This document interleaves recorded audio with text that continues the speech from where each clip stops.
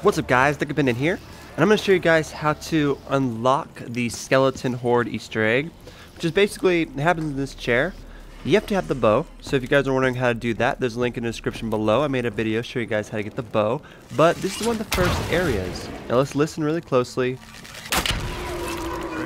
So you have to shoot basically on the left of the glass, and this basically adds a skull to the chair here.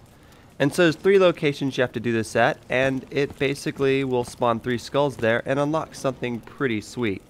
So the next area is over here by the mule kick. Now for me it was right here in the corner, right there. I thought it was over there by the, the foul cabinets, but it was right on the right side of mule kick. And then let's go check. I like to make sure, because I like, we're shooting all around trying to look for it. These skulls are invisible you can't see them until you shoot them with the bow. So let's come over here make sure we have two and da da da two. So the last skull is over by let's see double tap. And this one I'm not exactly sure if it's in the corner or what area, just kind of shot all over the place. There's actually a skull here that's part of one of the bow upgrade easter eggs. There's a whole bunch of different ways to update each bow. So that's part of that. But I like to kind of shoot by the skull. That's where I think it is. You can kind of listen and hear it. So, I'm pretty sure I got them all. There's one way to find out. Save this one for last. And the best way to find out is to actually see if it works. So let's see what comes after us whenever they spawn in.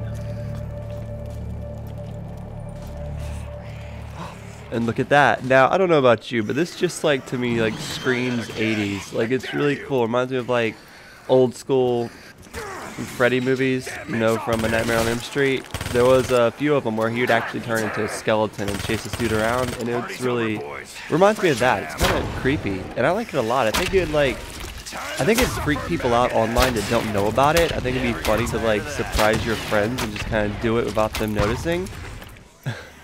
So we'll go back to the area, and um, the cool thing about this is, if you don't want to have the skeletons anymore, you can go up to the skulls and press the box button, and they'll go away, and the zombies will spawn back normally.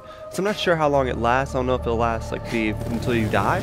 I'm not sure. We'll have to test that. You guys let me know in the comments. You guys tested that, but it's a cool Easter egg. Let me know if it helped you guys out. Like the video. We'll have a lot more coming out in Black Ops 3. Zombies DLC coming here soon.